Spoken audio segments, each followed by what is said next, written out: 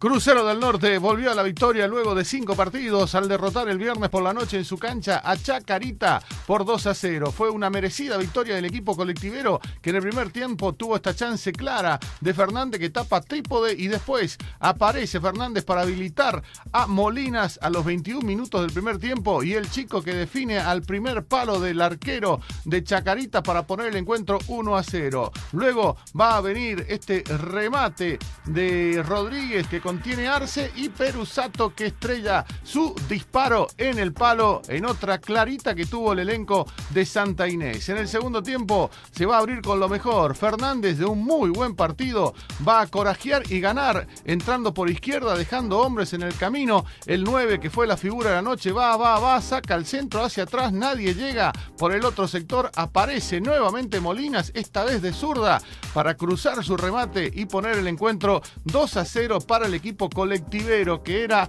pura contundencia, algo que le falta en lo que va de este certamen. Chacarita se agrandó, va al tiro libre de Oroz, que Arce, también de muy buena noche, la manda al córner. Luego de una serie de rebotes, Rodríguez y en la línea Arce se tira para evitar el descuento del equipo visitante. Y también el equipo bonaerense va a llegar con esta pelota de Alderete, Arce, Oroz, Arce y el partido que terminaba favorable a Crucero del Norte por 2 a 0.